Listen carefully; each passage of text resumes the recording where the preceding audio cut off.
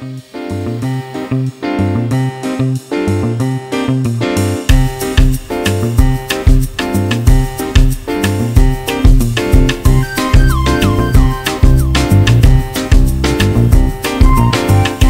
right, welcome back to WMDN's The Educators. I'm your host, Kobe Colston, and I'm sitting here with Dr. Sean B. Yisrael, and we're talking uh, here about his latest book, uh, The Cleopatra Teaching Rules. And, you know, the first thing, uh, Dr. Yisrael, you know, when I thought about this book, Right. um, is I thought about, you know, why Cleopatra? You know, you think about how to connect, you know, Cleopatra with teaching, you know, and, and for the average person that's walking through, you know, it's kind of difficult. They don't see the connection. So um, I guess my first question is why Cleopatra and, and how could you possibly connect her, you know, to a book about teaching? Right. I get that question a lot because uh, at first glance, people don't see the connection.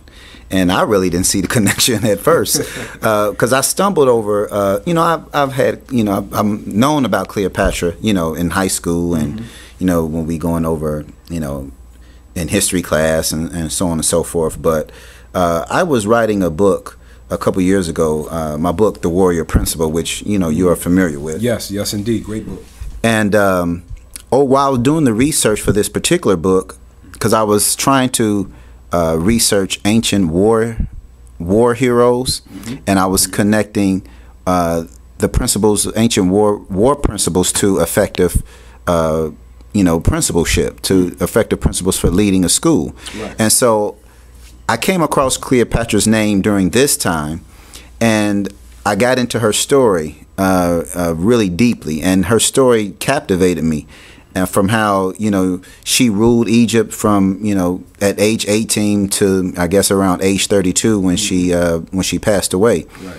But in reading her story, I was I was fascinated by certain principles that she used in order to to rule her country, mm-hmm. and so an idea just clicked with me, and I want to take some of those principles that she used mm-hmm. and connect them with effective teaching.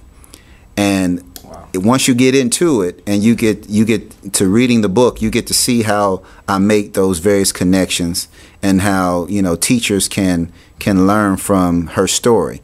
But I want to say this: the book is about effective teaching uh, practices, ways that teachers can engage students and uh, foster higher uh, levels of student achievement. So Cleopatra is is more so used for entertainment value because uh, let's just face it, a lot of uh, education books uh, they're boring, and Yes, they and, are. and and uh, I can attest to that. and a lot of teachers uh, don't read do a lot of reading unless they they have to uh, maybe they're in graduate school or maybe they're doing something to uh, as part of some sort of recertification piece but the cleopatra teacher rules is is a book that combines history uh, this controversial figure from antiquity antiquity uh, mixed with effective teaching practices. And it's a book that you can read from cover to cover, from start to finish.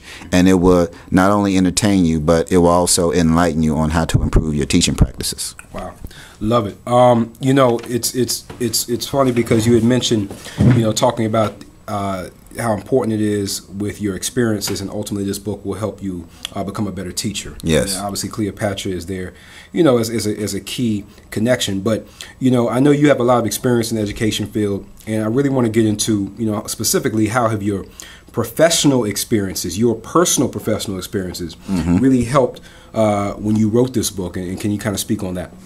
Well, I think uh, all of my experiences, um, in some way, shape, or form, influence my thinking when I'm writing all of my books. Um, it's no secret that I um, I'm originally from Cincinnati, Ohio. I attended uh, public schools throughout my um, you know school age career. And I, after graduating high, um, uh, graduating from college, I actually came back to my alma mater to teach. And uh, after I left the uh, classroom, I went on to uh, become an assistant principal and then a principal. Um, all of that was done in you know what we call an urban school district. Okay, so the experiences that I had as a student, whether good or bad, as a teacher, as a principal, all of that helped to shape my decision making. So, you know, when writing the Cleopatra Teacher Rules, I, I think back to times when I was in class, and I think about some of the problems that teachers may have had. Mm-hmm. Um, and I also think back to some of the times where uh, things went well and I was learning a lot. And what and I try to capture those elements. What did those teachers do to make that classroom experience uh, for me mm. beneficial? Mm. What was it about that teacher's delivery, their personality, right. The classroom, the subject matter, the content? Mm-hmm. So all of those elements, um, and I and I think that you know, over my career, I've I've learned and I've observed several highly effective teachers. Mm-hmm. I've been around a lot of great individuals who are very passionate about their work and um, making a difference in the lives of students. And so, in some ways, I think that I, you know, borrow. I'm like a magnet. You know, I borrow and I attract to things that are.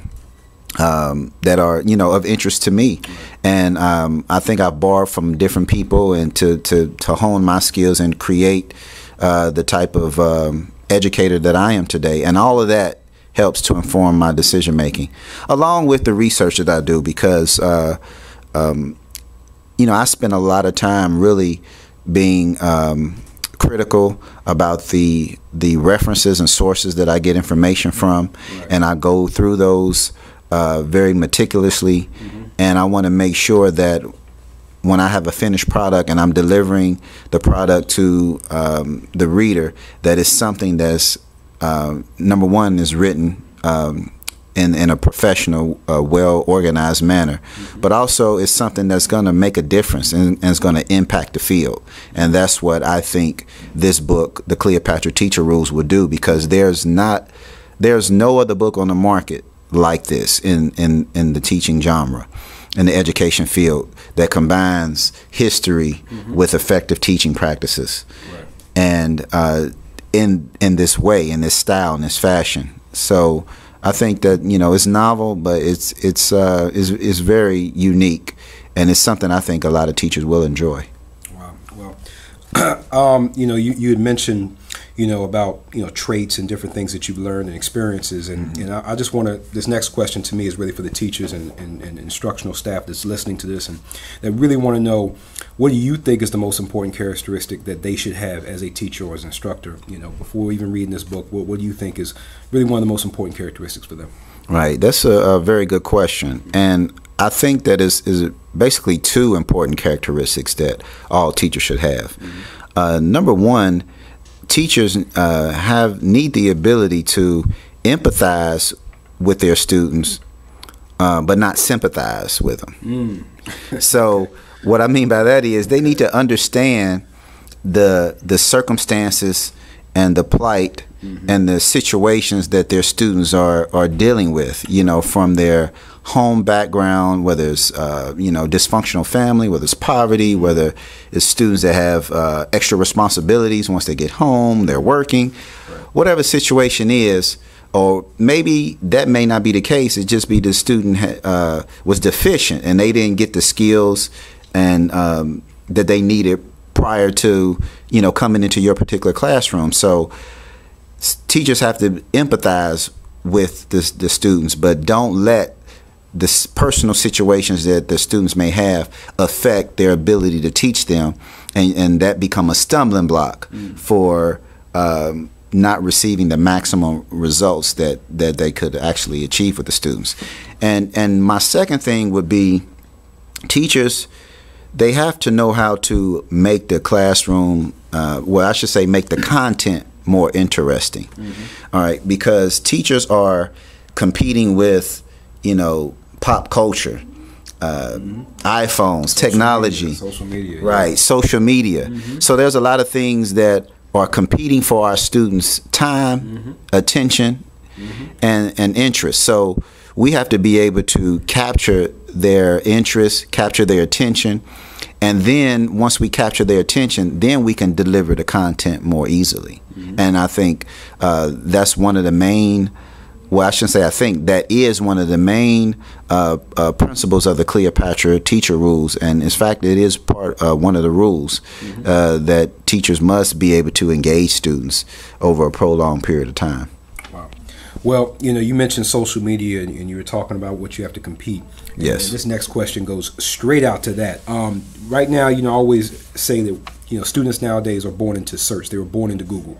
Right. They can get everything. They can access everything. Uh, they're also on social media, Twitter. They got everything. And so um, I know especially high school, uh, you know, behaviors can be a challenge for teachers, especially Even before high school, elementary. yeah, yeah, elementary, right. middle, and certainly high.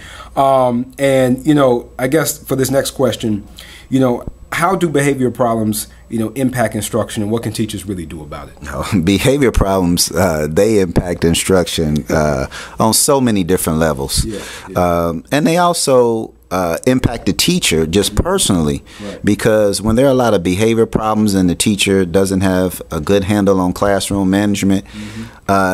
The teacher's morale drops and feelings stress, of yeah right stress frustrated yes and and their uh, feelings of self-efficacy goes down mm-hmm. so mm-hmm. Um, in terms of how you know student discipline impacts instruction over the, the, most thing it does it, it wastes a lot of time mm-hmm. and time where teachers can spend on delivering quality instruction, they have to stop and deal with a lot of behavior problems and whatnot. And and because this is a reality of today's uh, classrooms in, in, in, many public schools, especially those that are in urban settings, mm-hmm.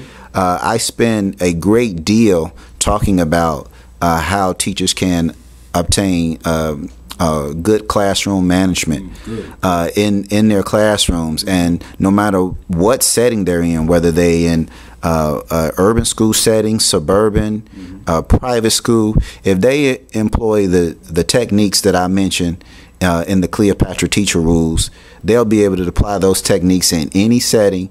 And they will be able to obtain maximum results because one thing that teachers do, and, and this is something that's wrong, uh, in terms of classroom when you think about classroom management. A lot of teachers try to control the student by being rigid, uh, coming down with more rules, um, every little movement.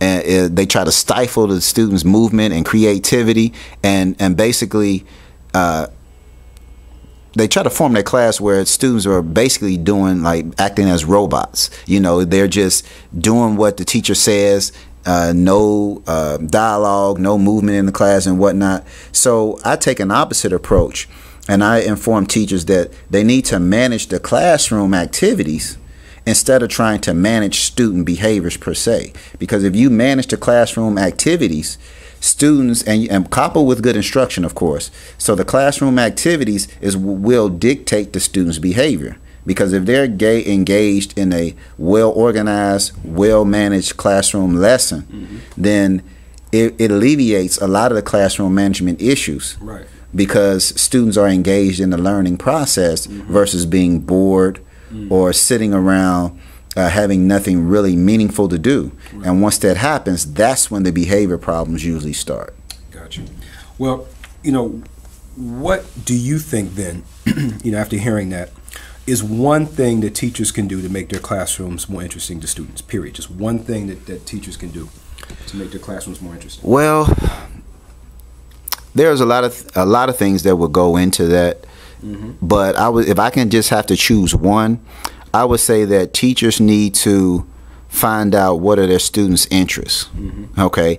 And once they find out their interests, then they try to gear their lessons and activities toward toward students' interests and how students learn. Because if you find out that you have some students that are uh, interested in physical activity, mm-hmm. okay, that may mean that they are kinesthetic learners. Oh, then you okay. may have some students that are good with using their hands mm-hmm, mm-hmm. and and working hands on. They may be tactile learners. Right, right. Then you have students that like to talk a lot, mm-hmm. and and a lot of teachers view that as a classroom management behavior problem, yeah. but those students may be interpersonal social learners. Mm. So if you know these things about your students, mm-hmm. and then it gives you a different perspective on how to tackle their uh, academic deficiencies, mm-hmm. and also deliver the content in a way that's more in line with how students learn versus how teachers just want to teach. Because the goal of teaching is to make sure that students learn the content. It's about the students, not about how I feel and how I want to teach as the teacher. Mm-hmm. Because how I my teaching style if it's just my style and it doesn't and it's not connected to the students, mm-hmm. then there I'm not going to get any good results. Right. So I should have my teaching style that's connected to ways that students learn. So if I know how my students learn, I can gear my lessons so that the information is more interesting to them, mm-hmm. is more in tune with their learning style, right. and then therefore the information will uh, they will retain the information longer. Mm-hmm. And that's the key um, important thing for students is that ultimately they retain uh, the classroom as a fun environment. That's right. And, uh, you get the most out of them. Uh, so we're uh, coming up here on a break, uh, running out of time. However, when we return on The Educators here on WMDN, we'll have more with Dr. Sean B. Yisrael and the Cleopatra Teacher Rules.